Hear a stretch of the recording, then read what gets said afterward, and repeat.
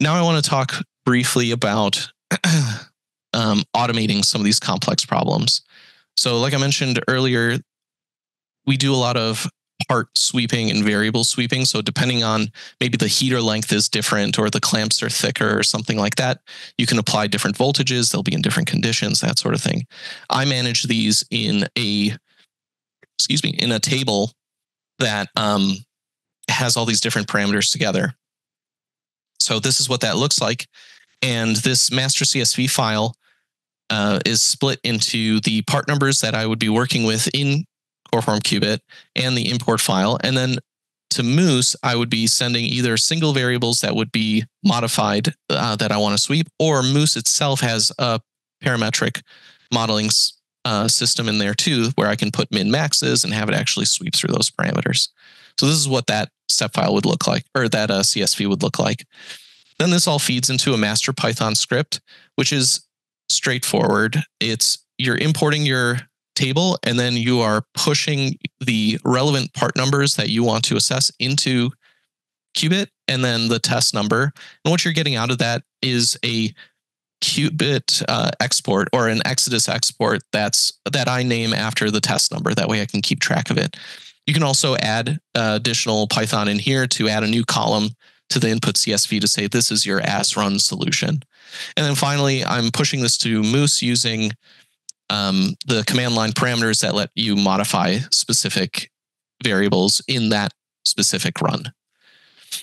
And then looking into the python script so the the Python API, uh, as as I use it, as I see it, is there's the read only information gathering API, which lets you get information about the volumes and surfaces so that you can process it, um, make decisions on, and kind of organize how the flow is going to work in the script.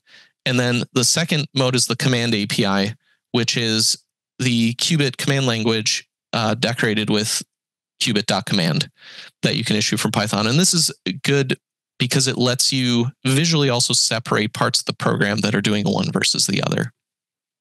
And again, documentation there is great, and you can explore it in the GUI and get the, the commands you need out from there. And as I was working through this demonstration, there are you know patterns of part numbers or part numbers are repeated. So I would be the one doing the exploratory work to find out what these part numbers are, and then document them in the input CSV and then run them through the Python script. So I would mesh the first of a kind of these things, like I would mesh a heater, I would pull the journal file commands, build the scripting from them, and then um, put the the uh, part numbers into that input file, and then iterate through using the Python flow control. And so sometimes you get lucky and um, Coreform Cubit is is smart enough to be able to deal with similar enough geometry. So in the demonstration, there were curved heaters and straight heaters, and where I start from is saying, well, if I can do a simple solution like a straight heater, and how how we mesh that from the journal file, what if I just applied it directly to the curved heaters? And sometimes it works, and uh, and Cubit's pretty good about that, which means that the code is identical. In fact, in this segment, only the part number is different, and I was able to keep the rest of the code the same. So now this starts to go into my library of functions that I can reference. And as I run into similar parts out in the world, I already have a meshing scheme to address this. Next is looking at the Moose input file and, and how this script interacts with Moose itself. So um, for again for engineers that are just getting into this the um, moose has this uh, command line usage where you can change you can inject changes in variables without modifying the input file itself. So that lends itself to python scripting and it it uses kind of this directory structure definition to reach into the blocks in your moose input file. So where you have kernels, then the a kernel subblock and this coefficient variable, you're doing the same thing. You're reaching in uh, from the command line to make this modification. And, and in that way, you can iterate through. Then, if you're doing a parameter study, Moose does that too. And there's an input, you would add the parameter study block to your input file, and then do exactly the same call with your high low values from the command line when your script runs. And then from there, you can, you know, kick it out to your batch scheduler, or if you're running local, you can um, have it wait and run on its own.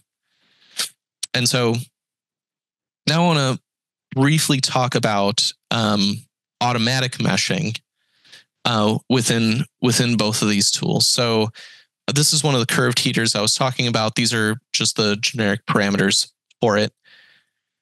Um, sometimes you find yourself in a situation where if your mesh isn't correct or isn't good enough, you can start to introduce some pretty unphysical solutions like metal wrapping up over itself or expanding in weird ways. And some of that has to do with the the um, accuracy of the mesh to the physical world, and the other part is the gradient of the solution in that mesh. And for the gradient of the solution in that mesh, um, Moose Moose has this adaptive meshing tool.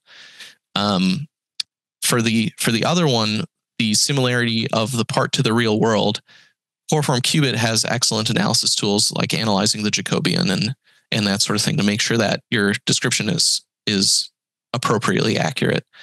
Um, but looking at the Moose auto mesher, it's going to look at places where the solution has a high gradient and it's going to add additional nodes to try to give you more physical solutions and stabilize the answer. And um, it's great, uh, but it is very intense and it's very computationally expensive.